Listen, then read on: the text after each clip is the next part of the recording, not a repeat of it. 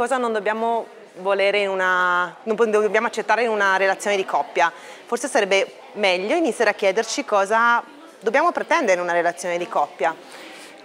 Stare bene, stare bene quando stiamo insieme, stare bene quando pensiamo a quella persona, stare bene quando ci arriva un messaggio da quella persona, sapere di poter essere ascoltati, sentire di poter chiedere quello che vogliamo, sentire di poter dire di no quando non vogliamo fare qualcosa e non sentirci costretti a doverla fare per forza, altrimenti succede qualcosa, sapere di poter sempre contare su quella persona ma anche di poter contare su noi stesse e noi stessi, questo vale per ragazzi e ragazzi, quindi poter essere autonomi, non aver bisogno di qualcuno per esistere, ma pensare che come persona da sola funziono bene, ma mi piace tanto stare con quella persona lì e quindi in due funzioniamo meglio.